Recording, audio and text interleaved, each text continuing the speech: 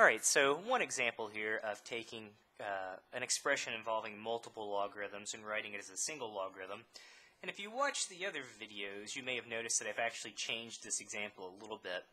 Um, so we're going to write this as a single logarithm. 5 ln of x plus 13 ln of x cubed plus 5 minus 1 half ln of x plus 1.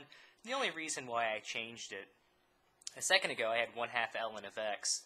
You know, we could just do the arithmetic at the beginning. You would have 5 ln of x minus 1 half ln of x, and we could simplify that. You would just do 5 minus 1 half, and so uh, just to uh, avoid that a little bit, I'm just going to kind of change everything uh, just to make it hopefully a little bit, to hopefully make it illustrate a little bit better using these properties.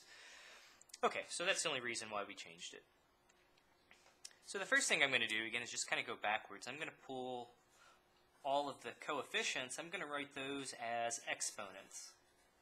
Um, the positives and the negatives, um, I'm just going to leave those out front. So I'm just going to take uh, the coefficient, not worrying about the sign.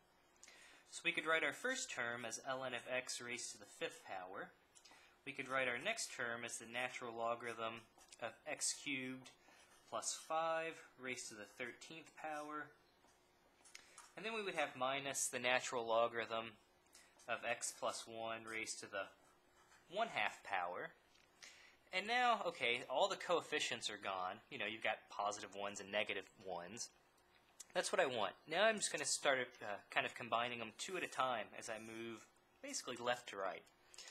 So the first one here, well, it says if you have addition between logarithms, it says we can write that as multiplication. So we'll have x to the fifth times the other stuff, which is x cubed plus 5 raised to the 13th power minus the natural logarithm. Okay, and again, you don't have to do this, but I'm going to. Remember, if something has an exponent of 1 half, that's really the same thing as a square root. So I'll write that as the natural logarithm of the square root of x plus 1. Don't need the parentheses, but I'm just going to stick them in there. It definitely doesn't make it incorrect. Well, now the uh, last thing I'm going to do, it says if you have a logarithm of some stuff minus a logarithm with the same base, and they are here, they're both natural logarithms. So it says if you have a logarithm of some stuff minus a logarithm of some stuff, we can just simply write that as division. Again, as long as they're the same base. Well, alright, so we've got x to the fifth times uh, x to the third plus 5 raised to the 13th power, all divided by the square root of x plus 1. And now we're finished. We've taken our original expression and we've sort of recondensed it as an expression involving a single logarithm.